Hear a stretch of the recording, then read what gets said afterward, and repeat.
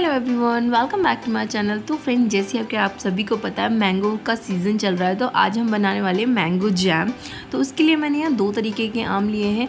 एक जो yellow colour का मीठा आम होता है वो, और जो एक ग्रीन कलर का हल्का सा खट्टा आम होता है वो. तो ये आम वैसे तो दोनों ही मीठे हैं, पर जो ग्रीन वाला आम है, वो हल्का सा खट्टा भी है, क्योंकि उसमें हल्का सा कच्चापन है तो हल्का सा खट्टापन भी उसमें आएगा। हम यहाँ दोनों आमों को लेंगे, उसके साथ हम जैम बनाएँगे, क्योंकि खट्टा मीठा जैम बन के जो रेडी होगा, वो हमारे दोनों आमों की हेल्प से ही होगा। अगर आप मीठा मीठा बनाओगे ना तो ज़्यादा मज़ा नहीं आएगा। दोनों को मिक्स करके बनाइए, खट्टा मीठा बनाइए। तो आपको क्या करना है, इसका पल्प निकालना है, यानी कि इसको मिक्सी में पीस लेना है। तो यहाँ मैं दोनों आमों की जो गुदा है उसको निकाल दूँगी, यानी कि जो हम इसके छिलकों को हटा करके इसकी प्यूरी तैयार कर लेंगे। तो मिक्सर में डाल करके इसकी प्यूरी तैयार कर लीजिए। यहाँ मैंने इसकी प्यूरी को जो है देख लीजिए, रेडी करके बिल्कुल तैयार कर दिया है। अब मैं यहाँ एक बर्तन लूँगी जिसमें आपको अपना मैंगो जैम बनाना है। उसमें आपको स्टेनर रखना है और जो आपका मैंगो पल्प है, उसको अच्छे से छान लीजिए। तो मैंने यहाँ पूरा का पूरा पल्प है जो स्टेनर में डाल दिया है। अब मैं इसे अच्छे से छान लूँगी। तो हमें इसको इसी तरीके से स्टेन करना है। उससे क्या होगा आपकी जितने भी रेसे हैं ना, वो सब ऊपर रह जाएँगे और जो अच्छा वाला पल्प है, वो नीचे आ जाएगा। तो हमें इसे अच्छे से स्टेन करना है। तो आप देख सकते हो, यहाँ मैंने पूरा स्टेन कर लिया है, जिसके जितने भी रेशे रेशे हैं, यानी कि जो उसमें हल्के से धागे धागे होते हैं, वो ऊपर सूख गए हैं, और बाकी का जो अच्छा वाला पल्प है, वो पूरा नीचे आ गया है। अब हम इसे गर्म करने रखेंगे, क्योंकि हम इसका जैम बनाएँगे तो हम इसको अच्छा थिक बनाना होगा। तो अब आप इसे बॉईल करने के लिए रख दीजिए। ये अच्छा गर्म करना है हमको, आप देख सकते हो कितना कितना क्लियर है ये। इसमें कुछ भी नहीं है, एकदम नीट एंड क्लियर है। बहुत अच्छा आपका मैंगो पल्प है ये। अब हम इसे अच्छे से गर्म करेंगे। इसको थिक करना है ताकि जो आपका जैम है, वो बहुत ही ज़्यादा अच्छा बने। तो मार्केट से जैम आप काफ़ी ज़्यादा महँगा ख़रीद के लाते हो। बस 20 या 30 रुपए में आपका जो जैम है, वो घर पे बन करके रेडी हो जाएगा। क्योंकि मोस्टली फोर्टी रुपीज़ के जी जो है, आम चल रहे हैं। तो मैंने यहाँ सिर्फ़ दो मैंगो से बनाया है। ज़्यादा मैंगोज़ का यूज़ नहीं किया है। सिर्फ़ दो मैंगो का यूज़ मैंने करके इसको यहाँ बनाया है। चीनी आप सभी के घर में होती है, घी हम सभी के घर में होता है तो सिर्फ़ मैंगो लाइए और मैंगो जैम बनाइए। तो मैंने यहाँ पर एक कप जो है शुगर का इस्तेमाल किया है। यहाँ पर दो आम लिए हैं क्योंकि एक मेरा खट्टा था, इसलिए मैंने यहाँ एक कप शुगर का यूज़ किया है। अगर आपकी दोनों आम मीठे हैं और उससे बनाना चाहते हो तो आप कम शुगर का भी यूज़ कर सकते हैं।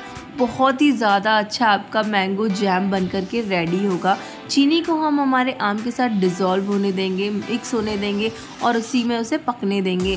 उससे क्या होगा ना, आपका जो जैम है बहुत ही अच्छा बन करके रेडी होगा। बहुत मीठा भी बनेगा, बहुत खट्टा भी बनेगा, साथ में एक अलग फ्लेवर आएगा। तो आप देख सकते हो, इसे पकने में एटलीस्ट थर्टी मिनट तो लगते हैं। तो मैंने यहाँ जैम को पकाते पकाते पंद्रह बीस मिनट हो चुके हैं। तो इसकी जो कंसिस्टेंसी है वो काफ़ी कम हो चुकी है और इसका जो कलर है ना, वो भी हल्का हल्का डार्क हो चुका है। अब हम इसे हल्का हल्का जो है बॉईल होने देंगे। इसे इसी तरीके से बॉईल करना है इसे मीडियम गैस पे करिए। हाई फ्लेम पे बिल्कुल मत करना, वरना ये पैन में चिपक जाएगा और इसका जो फ्लेवर है वो ख़राब हो जाएगा, ये जल जाएगा। इसीलिए हमेशा मीडियम गैस पे ही कीजिए और बहुत अच्छा आपका टेस्ट आएगा। तो इसको इसी तरीके से कंटिन्यू कीजिए आप, यानी कि इसको लगातार चलाते रहिए।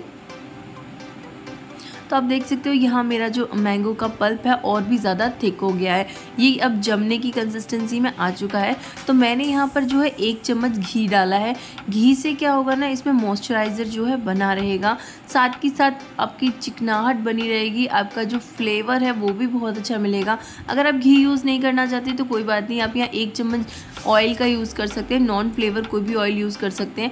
अब हम इसे भी यहाँ दो मिनट के लिए कुक करेंगे, क्योंकि हमारा जैम यहाँ लगभग बन चुका है। तो सिर्फ़ दो मिनट के लिए ही हमें इसको पकाना बाकी है। उसके बाद क्या होगा, आप इसे ठंडा करके किसी बर्तन में ट्रांसफ़र कर लीजिए और ये बिल्कुल जमने की कंसिस्टेंसी में आ जाएगा। हमारा मैंगो पल्प यहाँ पे बहुत ज़्यादा थिक हो चुका है जैम बनने की कंसिस्टेंसी में आ चुका है।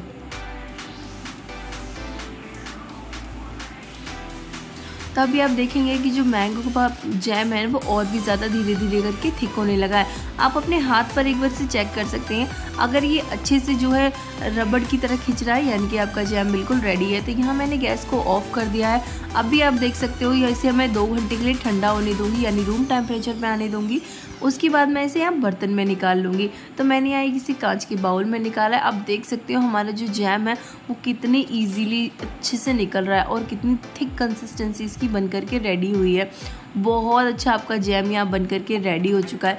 मैंने इसको बर्तन में ट्रांसफ़र कर लिया। आप इसे ब्रेड के साथ खा सकते हो, रोटी के साथ खा सकते हो, या फिर आपके बच्चों को टिफ़िन में भी दे सकते हो। बहुत अच्छा आपका जैम यहाँ बन करके रेडी हो चुका है। आपके बच्चों को ना बहुत ज़्यादा पसंद आएगा। आप देख सकते हो हमारा जो जैम है ना मार्केट से भी ज़्यादा अच्छा बना है। बहुत ही ज़्यादा हेल्दी है, क्योंकि आपने घर में बनाया, बहुत ही ज़्यादा टेस्टी है, क्योंकि आपने खुद बनाया है।